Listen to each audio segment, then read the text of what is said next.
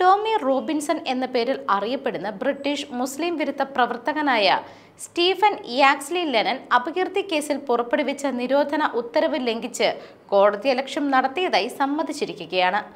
പ്രതിഷേധത്തിനിടയിൽ ഒരു സിറിയൻ അഭയാർത്ഥിയെ നിന്ദിക്കുന്ന രീതിയിലുള്ള ഉള്ളടക്കമടങ്ങിയ വീഡിയോ പ്രദർശിപ്പിച്ചതിനാണ് കോടതി പതിനെട്ട് മാസത്തെ തടവ് ശിക്ഷ വിധിച്ചത്. സ്റ്റീഫൻ യാക്സ്ലി ലെനൻ എന്ന ഈ നാൽപ്പത്തിയൊന്നുകാരൻ ഇന്നലെ വൂൾവിച്ച് ക്രൗൺ കോടതിയിൽ ഹാജരായിരുന്നു. വ്യാജ വാർത്തകൾ പ്രചരിപ്പിക്കരുത് എന്ന ഹൈക്കോടതിയുടെ രണ്ടായിരത്തി ഇരുപത്തി ഒന്നിലെ ഉത്തരവ് ലംഘിച്ചതിനെ തുടർന്നായിരുന്നു ഇയാളെ അറസ്റ്റ് ചെയ്ത് കോടതിയിൽ ഹാജരാക്കിയത്. ജൂലൈ മാസത്തിൽ ട്രഫൽഗർ സ്ക്വയറിൽ നടന്ന ഒരു പ്രതിഷേധത്തിനിടയിലായിരുന്നു ഇയാൾ വിവാദ വീഡിയോ പ്രദർശിപ്പിച്ചത്. ഇത് കോടതി ഉത്തരവിന്റെ ലംഘനമാണെന്നായിരുന്നു ക്രൗൺ കോടതി നിരീക്ഷിച്ചത്. കോടതി ഉത്തരവ് ലംഘിച്ചുവോ എന്ന കോടതിയുടെ ചോദ്യത്തിന് അക്ഷോഭ്യനായി ഉവ്വ് എന്ന് ഉത്തരം നൽകുകയായിരുന്നു ഈ തീവ്ര വലതുപക്ഷ നേതാവ്. അന്ന് സ്കൂൾ വിദ്യാർത്ഥിയായിരുന്ന ജമാൽ ഹിജാസിക്കെതിരെ വ്യാജ ആരോപണങ്ങൾ ഉന്നയിക്കരുത് എന്ന് അന്ന് ഹിജാസി നൽകിയ കേസിനെ തുടർന്ന് വിധിയുണ്ടായിരുന്നു. നാല് സന്ദർഭങ്ങളിലായി റോബിൻസൺ കോടതിയുടെ ഉത്തരവ് മനഃപൂർവം ലംഘിച്ചതായി ചൂണ്ടിക്കാട്ടി സൊളിസിറ്റർ ജനറൽ ഇക്കഴിഞ്ഞ ജൂൺ മാസത്തിലായിരുന്നു നിയമ നടപടികൾക്ക് തുടക്കമിട്ടത്.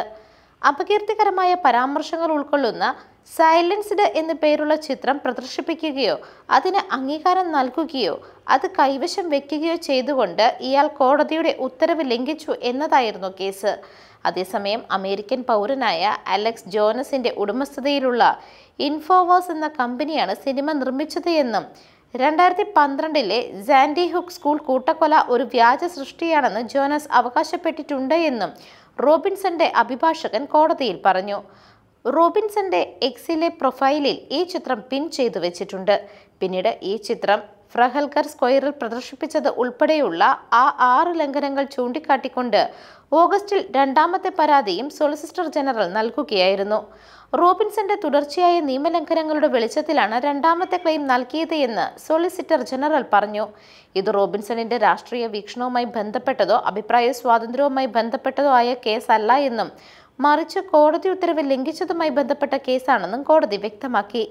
വിചാരണയ്ക്കിടെ മുഴുവൻ ചുണ്ടിൽ പരിഹസിച്ച ഒരു പരിഹാസ പുഞ്ചിരിയുമായിട്ടായിരുന്നു റോബിൻസൺ കോടതിയിൽ നിലകൊണ്ടത്. ഇടയ്ക്കൊക്കെ തലകുലുക്കുന്നുമുണ്ടായിരുന്നു. കോടതി ഉത്തരവ് ലംഘിച്ചത് ആകസ്മികമായി സംഭവിച്ചതോ അറിയാതെ ചെയ്തതോ അല്ല എന്ന് കോടതി നിരീക്ഷിച്ചു. മനഃപൂർവം കോടതി ഉത്തരവ് ലംഘിക്കുന്നത് ഗുരുതര കുറ്റകൃത്യമാണെന്നും കോടതി പറഞ്ഞു. ആരും നിയമത്തിന് അതീതരല്ല എന്ന് ഓർക്കണമെന്നും കോടതി മുന്നറിയിപ്പ് നൽകി. വിധി പ്രസ്താവിച്ച ഉടനെ ഇയാളെ പോലീസ് അകമ്പടിയോടെ ബെൽമാർഷ ജയിലിലേക്ക് കൊണ്ടുപോയി. പുറത്ത് തടിച്ചുകൂടിയ ആരാധകരെ കൈയുയർത്തി അഭിവാദ്യം ചെയ്തുകൊണ്ടാണ് ഇയാൾ ജയിലിലേക്ക് പോയത്. സിവിൽ അവകാശ നിയമങ്ങൾക്ക് കീഴിൽ ഡി കാറ്റഗറിയിൽപ്പെടുന്ന തടവുകാരനായിരിക്കും ഇയാൾ. പക്ഷെ നേരത്തെ ഇയാൾ ജയിൽ ശിക്ഷ അനുഭവിച്ചപ്പോൾ ഇയാളുടെ സുരക്ഷയെ കരുതി ഒരു സെല്ലിൽ ഒറ്റയ്ക്ക് താമസിപ്പിക്കുകയായിരുന്നു. News desk മെഗ്നവിഷൻ.